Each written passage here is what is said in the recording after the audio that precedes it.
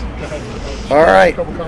Yeah, um, good Wednesday practice from our guys. You know, this time of year, getting an opportunity to practice in this kind of weather. Uh, guys are excited about it. Yeah, you know, we didn't have that opportunity last year, and so uh, the guys that, especially the seniors, that have one more opportunity, they relish each one, and uh, we're excited about the challenge. with a really good TCU team. So, uh, with that, questions.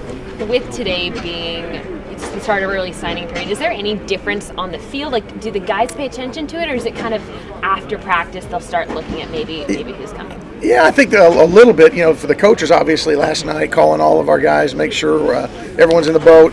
Um, you know, I think some of the guys that are returning, you know, hey, who are, who are next year's teammates, guys that maybe they hosted, uh, they, you know, they knew about those guys this morning. So there's a little different buzz. But once we get on the field, it, it was all TCU. You know, today was a big third down red zone day, so uh, the focus was there. And our guys have really done a nice job practicing all year long. And here we are, week 13. Uh, actually, it's probably week 17 or 18, whatever it is.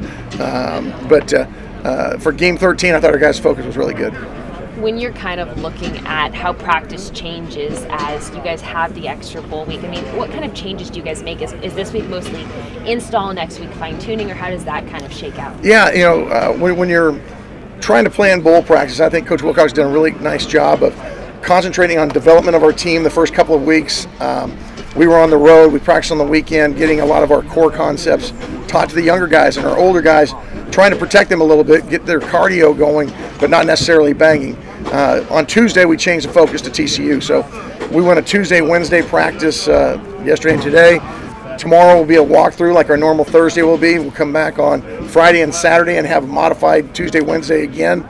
Um, we'll travel on on uh, Sunday, and then we'll have uh, a Thursday, Friday when we get to the bowl site. So our guys are kind of used to this pattern of practicing a couple days, really practicing hard and chasing the ball, and then kind of a day of rest a little bit, and then crank it back up. And hopefully that formula will work for us. When you're looking at TCU's offense, is there anything in particular that kind of stands out to you?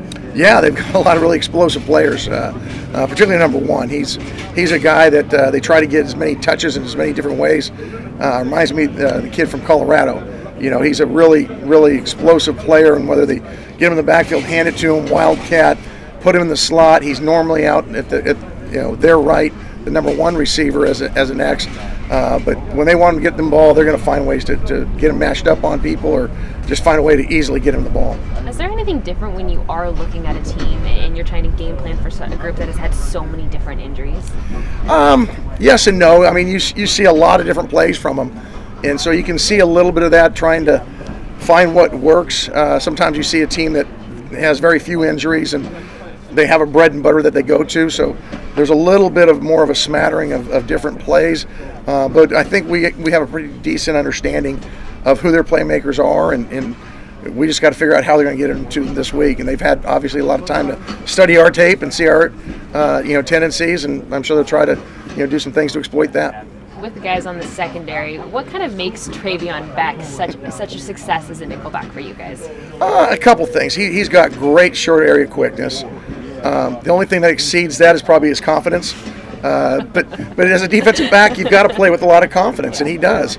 Uh, he does a, a, really good job of studying tape, understanding splits and formations, understanding you know our coverages and, and where we need to be and where we want to disguise at times. So when he puts all that together, you know, combined with that physical talent, uh, you know, makes a good combination. Another guy in the secondary who's done superbly well for you guys. I mean, you have two with both Cam and Ashtyn.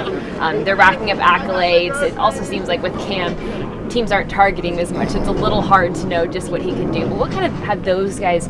What kind of strides have those guys really taken this season? Well, I, I think you know we knew going in that they were going to be improved from a year ago, and uh, it's hard to say they they've exceeded expectations because we had really really high expectations for them, but they've been extremely productive. Uh, we knew a year ago when those guys played for you know for basically for the first time uh, that they were going to be highly competitive, great ball skills. Uh, but Gerald Alexander's done a tre- tremendous job teaching them the art of the game, uh, how to get their study habits, understanding splits and you know uh, different stems, so that they can anticipate routes. And then both those guys have such good ball skills that they've been able to not just break passes up, but you know take them the other way. And uh, two of the biggest reasons that, that we've been you know so improved on defense this year are those two guys. Alex Funches just said that uh, you and Coach Wilcox and he all kind of arrived here at the same time, and, and he came away believing pretty quickly that, that this was going to take it in the right direction. Did, did you see similar things from him that, that he would fit into what you guys wanted? Well, it was interesting because you know he was really recruited for a different system. Yeah. And as we were working those guys out in January and February, he was one of the, the few guys that we thought, okay, let's look and see how he fit. Um, I think it probably helped him not having been tied to any system. Uh, he came in like a piece of clay and said, "Ready, you know, let's mold me." And uh, really pleased with his development. Uh, he hadn't played outside linebacker. You know, prior to this, I tease him all the time. I don't think there was a, a football in his neighborhood when he grew up because sometimes when you throw it to him, it looks like you know there's a foreign object coming at him. But uh, he's he's really uh, done a great job in, in the major things we. And that's setting an edge. Uh, and he's done a great job in the run game and doing that. Uh, really improved from a year ago. Uh, and then we asked the guys to rush the passer, and his pass rushes has really dramatically improved. His, his hands, his his get off.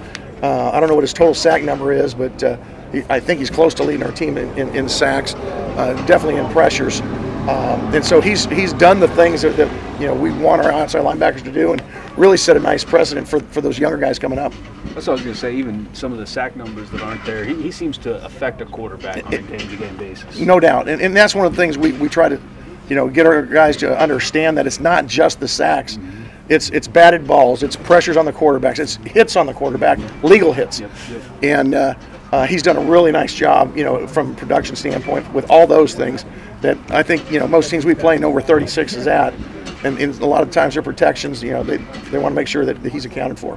He said that he noticed a difference when, when Cam Goode's out there. Maybe maybe that's where the attention goes a little bit. But but I, I assume opponents Yeah. know, know where 36 is now, right? I- exactly. Um, he had the advantage of having Cam on the other side, so they really couldn't, you know, double him. He's he's seeing more attention now, but. Uh, uh, you know, I, I think we're developing Tevin. He's he's becoming a force on the other side. Some of those younger guys are starting to come on. So, hopefully, you know, by him drawing a lot of attention, we, we can you know open up opportunities the other side. We're good. All Thank right. you, Coach. Appreciate it.